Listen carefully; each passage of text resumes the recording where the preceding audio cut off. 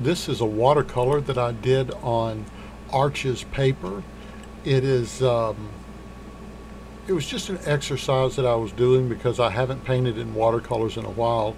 I've been concentrating in oils and I just wanted to get my hand back in. Now, as you can see, this is uh, a figure painting and I'm just starting out with a basic silhouette and I'm not worried about one color flowing into another. As a matter of fact, this style is conducive for that. You actually want that. You want to be careful not to over uh, mix your colors and then you, you just wind up with a mud. But if you start out, lay your colors in and just leave them alone, one of the beautiful things about doing either uh, a figure, a section, or doing the whole painting where you sort of block in with colors flowing into one another, you don't run the risk of everything being hard edged and sort of like a coloring book. I also am starting out with some fairly bright colors. It's uh, a good rule of thumb. You can always dull a color down, but brightening them back up is problematic, can sometimes be almost impossible. I'm using just a large oriental calligraphy brush. I like them because they can uh, do a real broad uh, flat wash or they can do uh, they can be brought down to a point so that's really nice it makes them very versatile where you can actually use one brush to do quite a bit.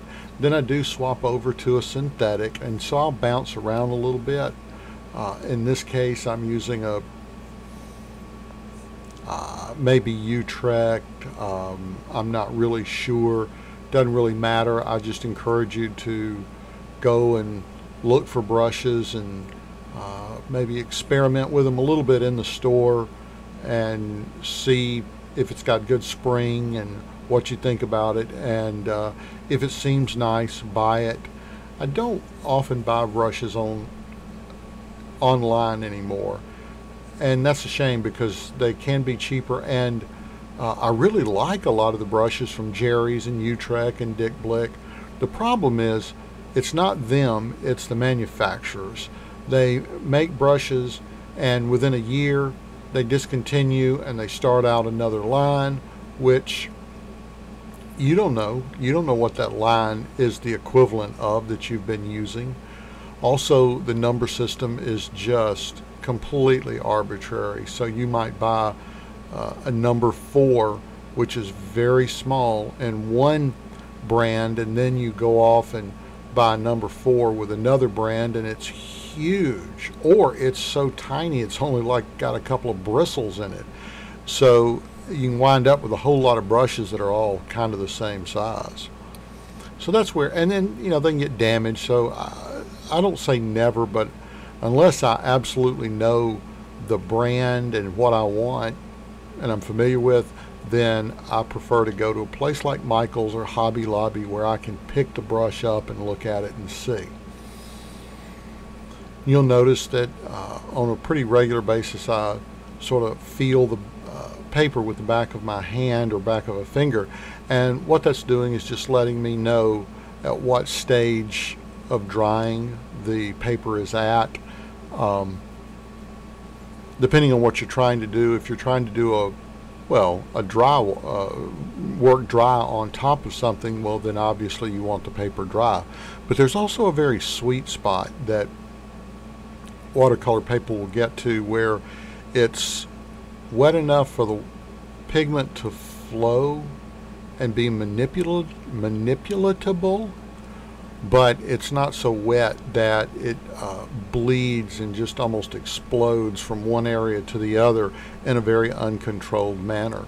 So uh, that's just a good way. If it's kind of cool to the touch uh, and has a slight dampness, then that's sort of that sweet spot.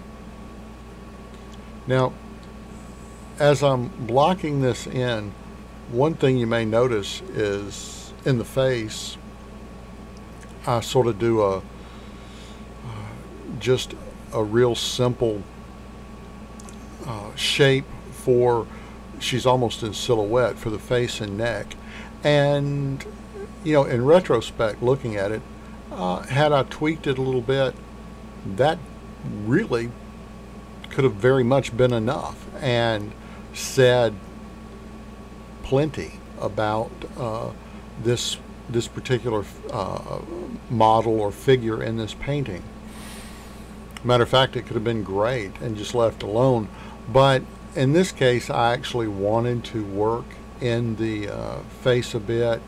And sometimes I, I, I'll have to admit, I think that's sort of a weakness of mine. I've been a portrait painter for over 30 years, and it's just very difficult for me to look at a face and not want to render it because uh, I love to, to do faces so much.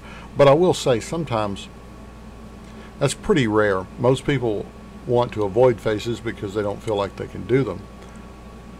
So we can have faults in either direction.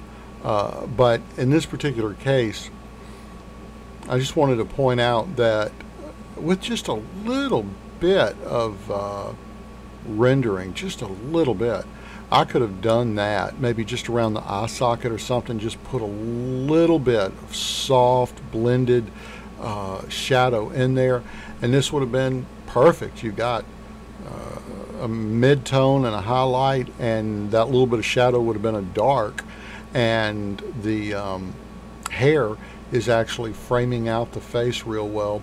So that's just to let you know that you can do a wonderful painting without having to go heavily into rendering. The only thing I would just suggest is make sure you're not doing it because you're afraid, because you don't feel like you have the talent or skill to be able to uh, render it out and paint it or draw it correctly.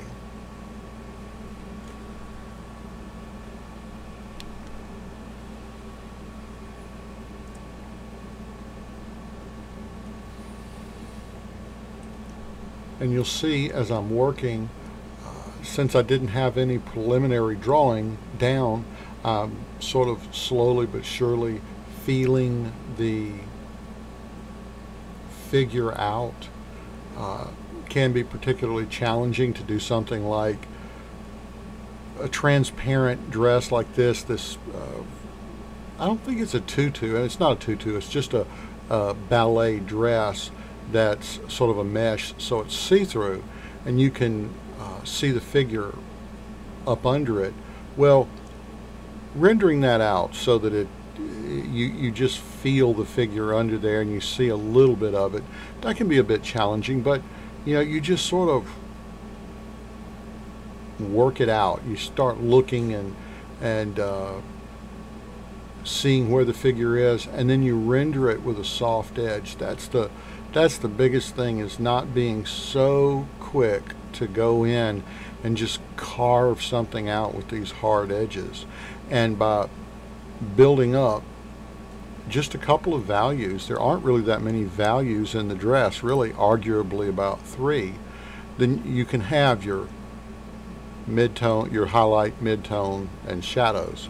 And what I tried to do here was just sort of block everything in as a mid-tone at the beginning and then come in and do I would argue almost just a deeper mid-tone for carving out the leg and the uh, folds in the dress but never really going super dark dark I don't really in that dress have too many really super dark darks I have I have it more in the bodice and of course in the face and hair.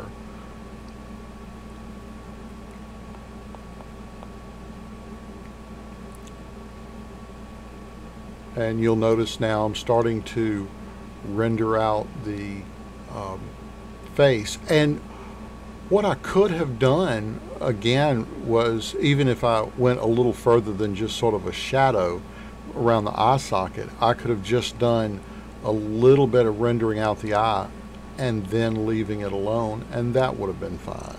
So it's sort of how far you want to carry it. If you're sort of a beginner, I actually encourage you to go on and render out the face and render the face in all sorts of different interesting and challenging uh, ways because you want that experience.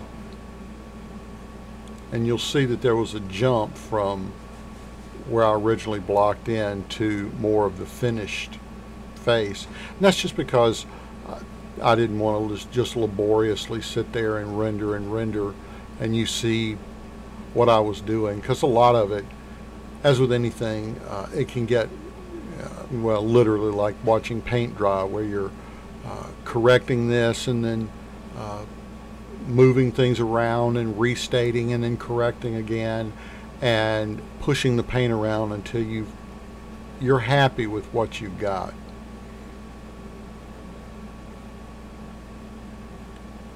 I kept the rendering on the hands uh, somewhat limited. Again, not because I can't, but because uh, I, I, felt like I had enough. I didn't need any more. Um, so often in painting, less is more. Uh, you don't want to over render and just say too much. You take the mystery out of what you're doing you take it to a point where you, well, you might as well just be take a photograph and leave it alone. But you don't want to sit back and go, oh, I'm afraid I, I don't know how to do this. Oh, that's not good either, because you want to be able to attack a painting, attack a subject with with gusto and with confidence and with a sense of fun and not be afraid of anything that's in front of you. And I love doing these small studies. That's probably a, I don't know, seven and a half by 11, I think is what the, this winds up kind of being. And I just love doing these little things because they're uh, relatively quick. Uh, you can just have a lot of fun with them. Now, in a second, I'll be uh, doing the background. And I don't necessarily encourage you to do the background exactly the way I did this time. Uh, if you're not afraid to cut into your figure or cut into what you've already painted, if you're so, if everything's so precious that you're afraid you're going to ruin it, then go on and paint it all at the same time. Don't do it in a segmented fashion, or that's exactly how it'll look.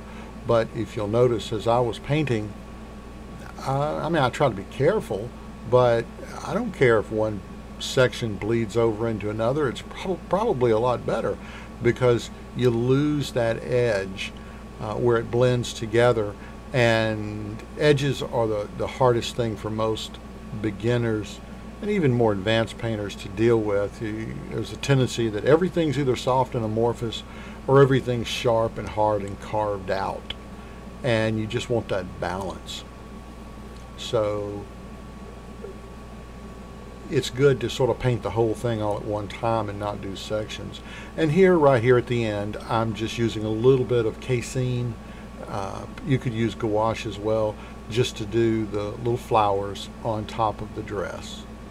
And I think that about wraps it up. This was just a quick little demo I wanted to do just to get my hands back into watercolors and casein. If you've enjoyed this episode of The Arthropologist, please hit the like button. And if you'd like to see more episodes like this, think about subscribing. I'm Bill Wilson, and I'm The Arthropologist.